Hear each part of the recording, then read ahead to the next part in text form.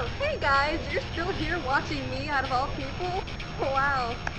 Okay, so this time I wanted to work on my favorite technique, which is a round kick.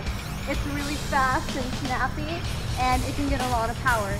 And it's not that much of a defense kick, it's more of a sport kick and like point sparring and just for like show. But if you like lunge into it and you get power, but I'm just here to show you how it works. So, usually we have our stances about squared up, shoulder width apart, bend our knees. But this kick is more to the side. So, what we're gonna do is we're gonna have our feet together basically. Then we're gonna have it, can you see this? Okay. Shoulder width apart again because that is our balance. That is the position that our body is most comfortable and even in. So pretend that you have a big square or rectangle or what have you, and now instead of at the corners of it, you're at the sides of it. So we have a shoulder width apart, back straight, so we're not leaning.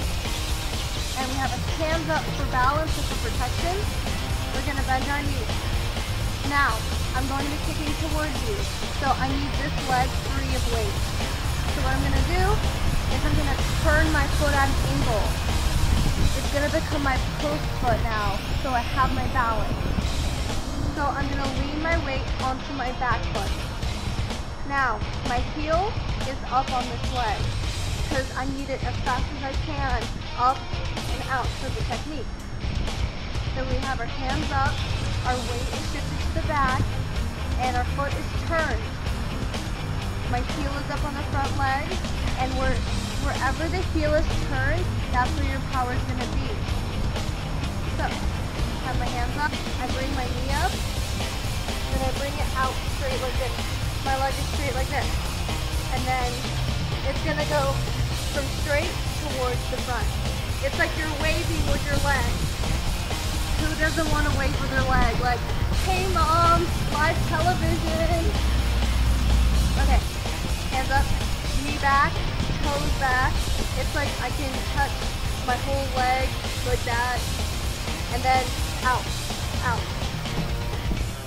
Don't put too much weight backward because you'll fall like I did. So we have our close position. Post foot turn, knee bent, leg up, out.